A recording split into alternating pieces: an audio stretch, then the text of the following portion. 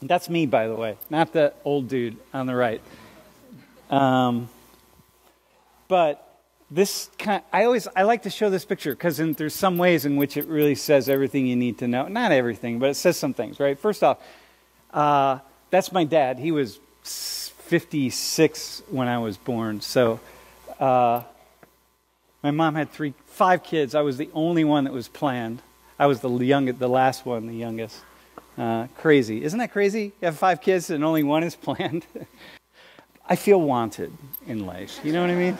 Take this is back in probably 1962 or 1963. I'm wearing pink with a doll, playing with a doll. I'm wearing pink my parents were like, whatever, yeah, you wear pink, you play with a doll. I'm sure other people, you just didn't do that back then because these gender roles, right? Like boys in blue and they don't play with dolls and all that kind of stuff. And like, so I was always, I was outside of the box then, I'm outside of the box now. This is not a conventional class. I don't live a conventional life. I'm not a conventional person. I was at two years old, I was not conventional. So there it is, right?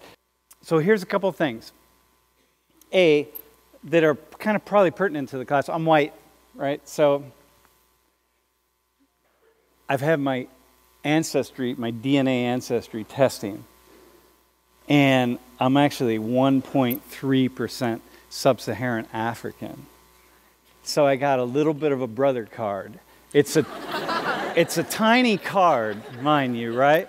It doesn't get, I'm not allowed to drop the N bomb and you know what I mean? I can kind of whisper it maybe, but uh, there it is, right? So I'm working class, born working class. Um, my father died when I was nine. I had I was working full time when I was 14. I was paying for all my school stuff, whatever it was. I, I uh, all my my illegal accoutrements um, I discovered weed when I was 12. And yeah. Uh, so uh, that, strangely enough, probably saved, kept me alive, saved my life. Uh, it made school much more interesting. Uh, I was not a good student. I was actually a really, I was an avid reader, and I always enjoyed thinking, especially after the age of 12. Uh, so I, I thought a lot, always thinking, always just daydreaming and thinking about things and trying to figure things out and always reading. I was always, always reading. But I never took grades seriously, never looked at my report card, even when I was a kid. Never once between like probably seventh grade and a senior in my graduating high school, I never once took a book home from school. Uh, I had a fake ID when I was 15 dude, I was living the life, right? So I had a really cool childhood because I had the space to allow myself to really test the limits and then grow and expand and come into maturity on my own terms without adults telling me what to do. Because when my dad died, my mom was working three jobs and just really, really busy. And so I graduate high school with like a 2.3 GPA, which was cool. So I only found that out like 10 years after I graduated. I had no idea what my GPA was. Um, didn't matter. Like, who cares, right? I graduated. So I uh, applied to college, University of Toledo, because the guidance counselor, I went to see a guidance counselor, and he's like, uh, what are you going to do when you graduate? I'm like, I don't know. I, I, was a musician, so I played drums. I was playing in bands all the time. I'm like, well, I'll probably play music or something. And He's like, Well, okay. You're not thinking about applying to college, are you? I'm like, nah, No, I don't know. But then I found out that if I applied to college, I could get a day off school, which didn't matter because I skipped school all the time.